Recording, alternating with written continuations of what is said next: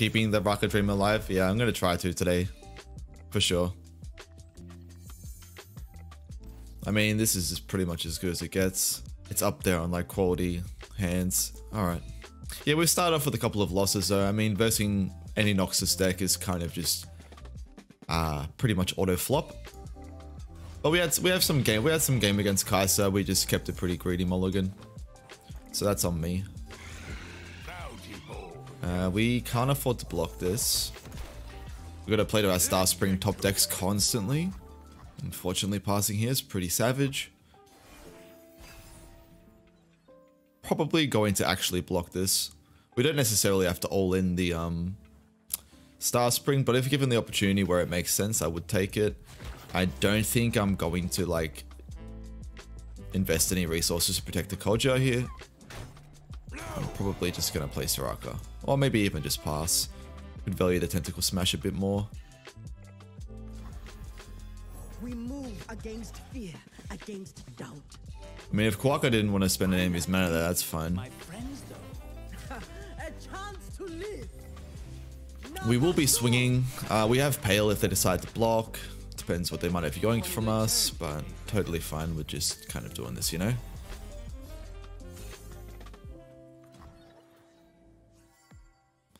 That's what the Pales are here for. Running into Flock is an L. I mean, Flock's the least of my concerns. Disintegrate and Scorched Earth is a pure L.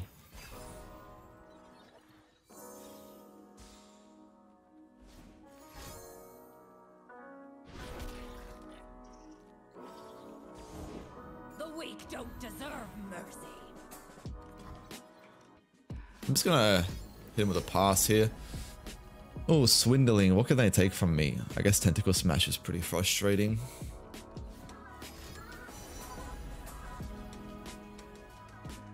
He's really just sending in the Powder Pandemonium now. To heal and protect. Um, yeah, I guess that makes sense to drag there.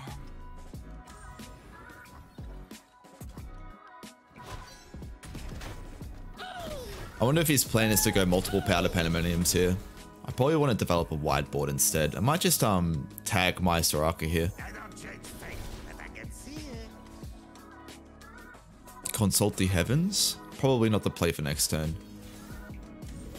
Live with purpose. I would like to get Broadback Protector down this turn in order to start healing up a little bit. Deal me in.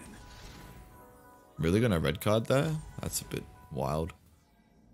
Fair enough. I'm a people person. Everyone here, let's go.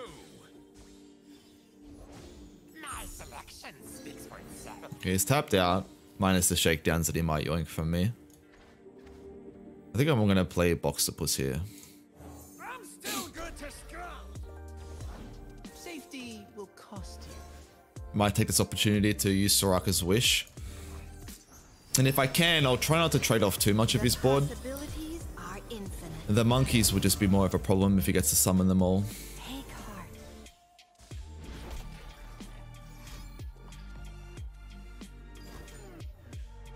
Okay. I think I might just do that.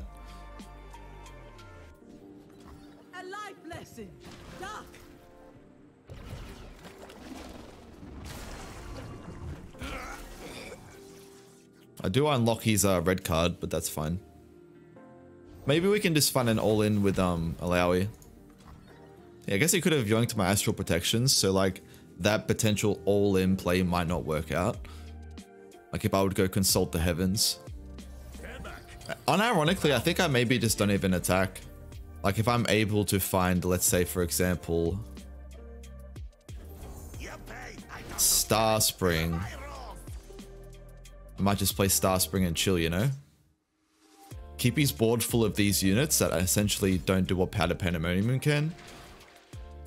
And we can just utilize Broadback Protector to heal us up to a certain point. The question is, what would I be um,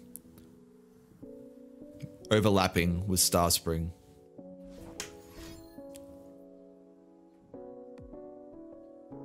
I'm not really concerned about the chip damage because Broadback Protector will do more than more than while there.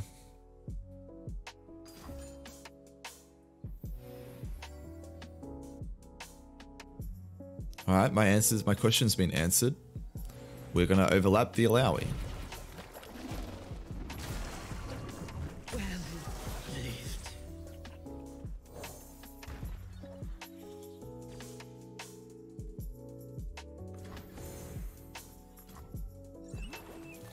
Yeah, I really don't want to attack into him.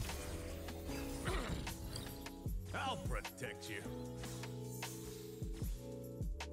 He is going to be plus one wider than me on the board for the rest of the game now because we um have to leave space for the spring. But this is probably my best chance of winning. And as soon as he's like, oh man, I'm gonna have to trade off my board, then I'll just take some really good blocks and heal up a lot with Star Spring. Could I have another Tentacle Smash? Hang on, no. The smash he played. No, Orca just passed. I might just um Soraka's wish here. We're running Consult the Heavens main deck? Yes. Hey, yo, what's up, Corral? How you going? Guiding Touch, probably just going to be used for face. So here's where we want to take as many good blocks as we can, right? You pay first. Soraka can bump into there. It's a bit greedy, but I have some protection tools, so sure. He's probably gonna, let's say for example, I have Nagakabouros on the stack. More than happy to go for Astral Protection.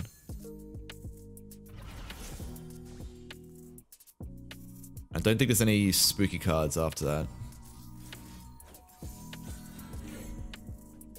And that's probably just a Star Spring victory, right? Ooh, sound effects, guys. Hold up, pause your sound effects. I mean, just Broadbacked and um, Soraka alone should be enough to clean up. What is this? Zero mana hush? That would be yikes.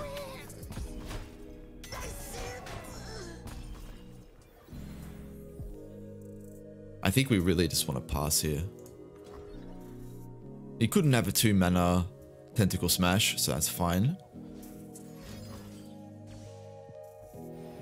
These rolls were pretty decent, but let's just calculate the odds here of winning. So Soraka is going to be a uh, 7 plus 1. 7 plus 1 is 8. Yeah, this is more than enough to win. I don't think we actually need to play anything here. Be patient. Again, just zero mana cards I should be scared of. No. Star Spring heals us up one. We get healed three to the Nexus. I have no divergent paths in my deck, so there's no like weird divergent plays. Stars fall. Live with purpose. Can't win 'em all, eh? I really don't see a way that they can win here.